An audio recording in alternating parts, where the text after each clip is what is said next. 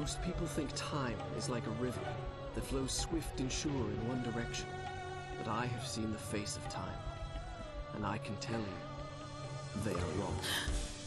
Time is an ocean in a storm. You may wonder who I am and why I say this. Sit down, and I will tell you a tale like none that you have ever heard. Know first that I am the son of Sharaman, a mighty king of Persia. On our way to Azad with a small company of men, we passed through India, where the promise of honor and glory tempted my father into a grievous error. Now, my son.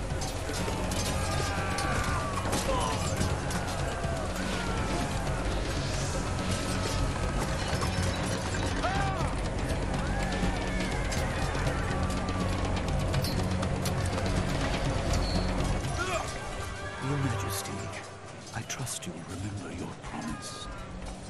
The Maharaja's treasure vaults lie within. See how he fights. Ah, like a warrior son.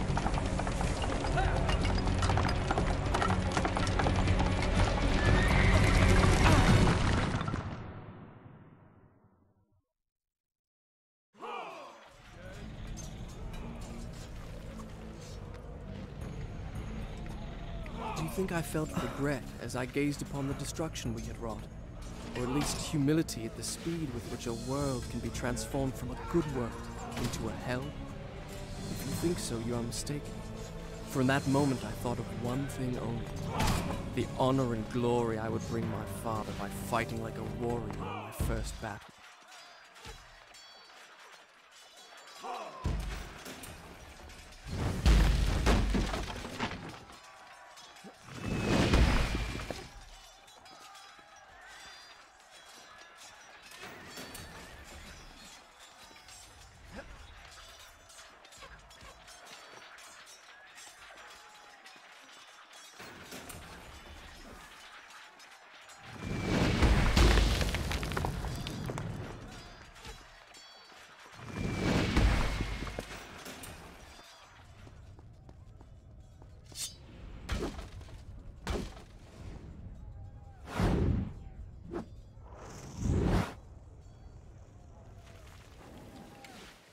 you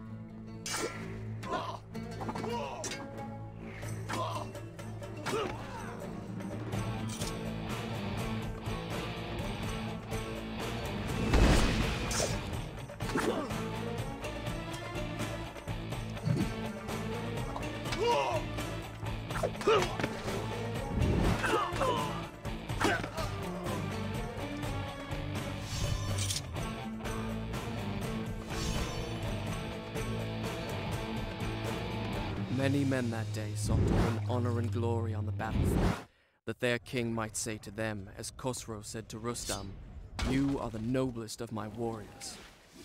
From the moment my sword tasted blood, I knew this would not be my way. I would win my father's praise not by killing, but by being the first to find the Maharaja's treasure vault and the wonders within.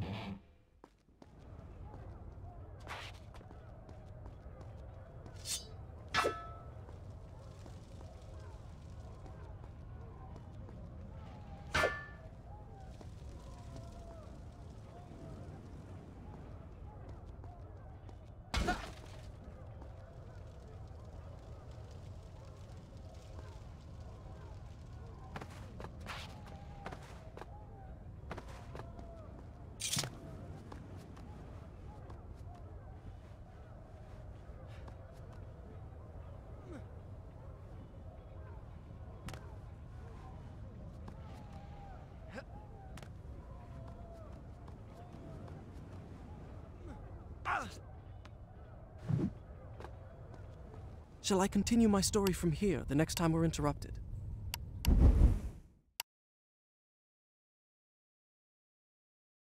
Done.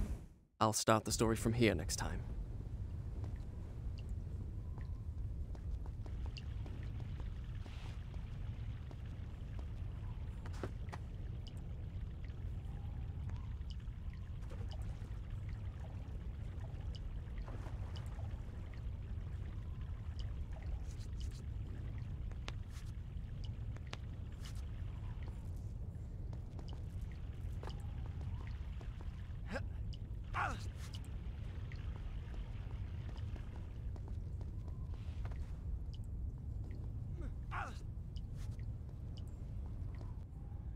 And there it lay, just out of reach.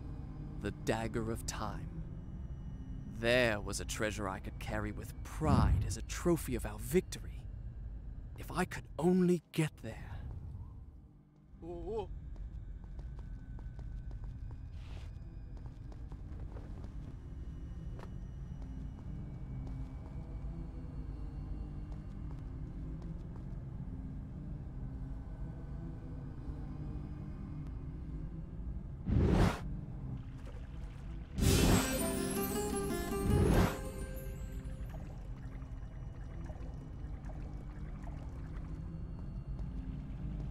The hourglass drew me, fascinated me. But to move it would take a dozen of my father's soldiers. I wanted a prize I could fit into one hand.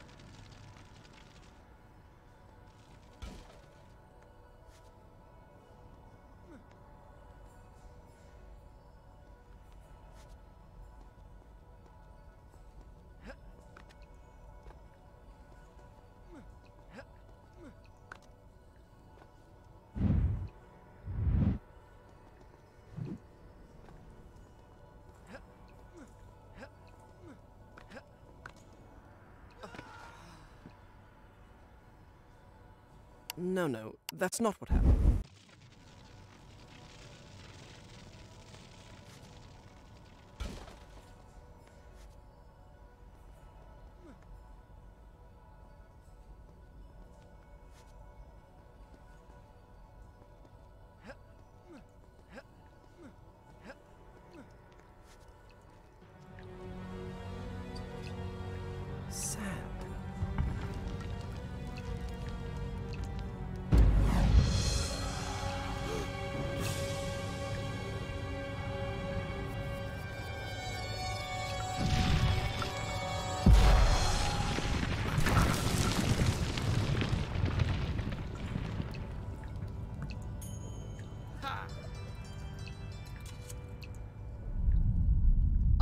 Came for.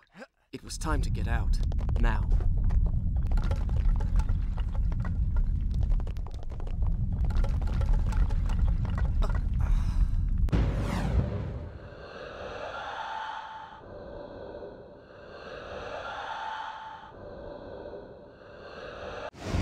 The miracle I had experienced by accident in the Maharaja's treasure room, I now discovered that I could trigger at will.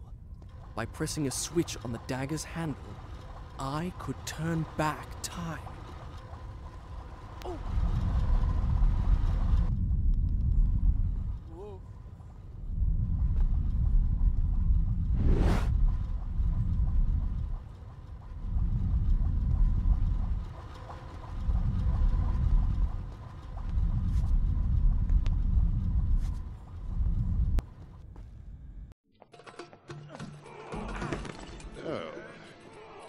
Father, I have brought us honor and glory.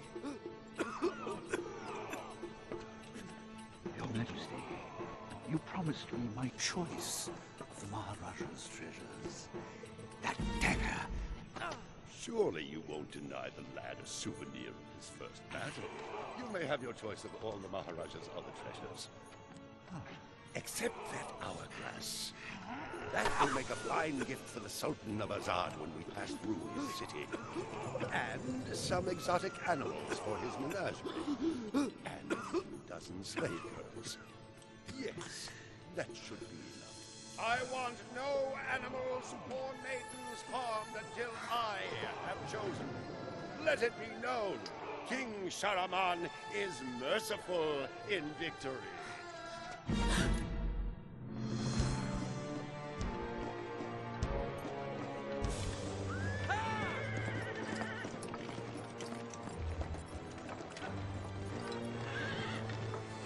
Trust not a man who has betrayed his master, nor take him into your own service, lest he betray you too. I learned the truth of this to my sorrow, the day that we arrived in Azad as the Sultan's honored guests. My friend, My friend, your visit brings joy and honor to my poor and humble dwelling. If only you'd given me time to prepare a proper welcome. the glories of Azad are famed throughout the world. The best is yet to come. I give you the sands of time. May the friendship between our kingdoms endure as long as time itself. The sand, why does it glow? I can tell you. Inside the hourglass is a marvel that no living man has seen. Only the dagger can unlock the sands of time, and it belongs to a greater one than I. A young prince, dearer to his father than all the wealth of India. Perhaps he will oblige.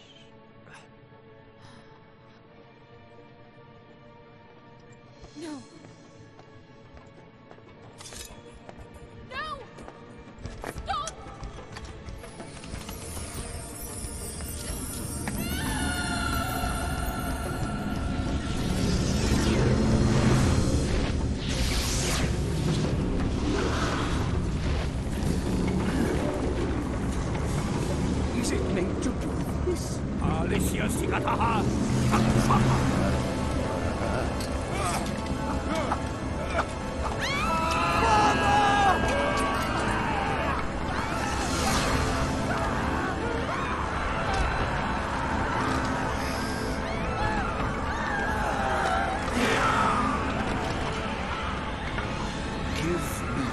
dagger. No.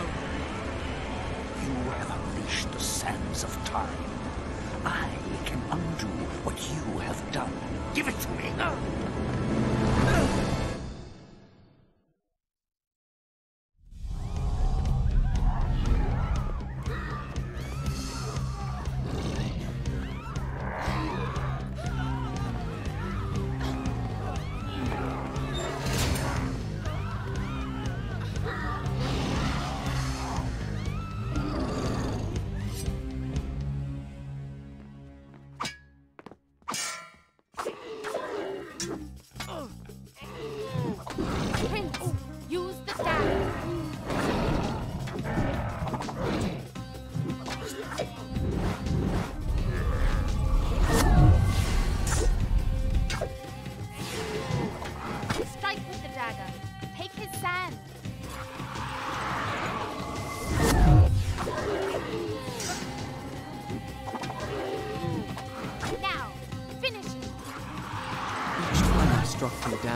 Rose to fight again.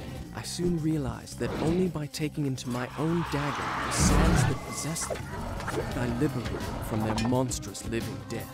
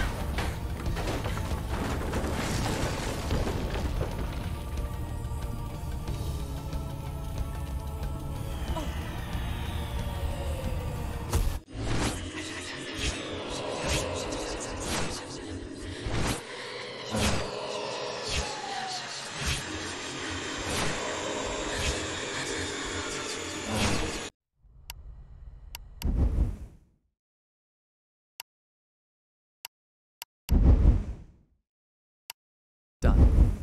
I'll start the story from here next time.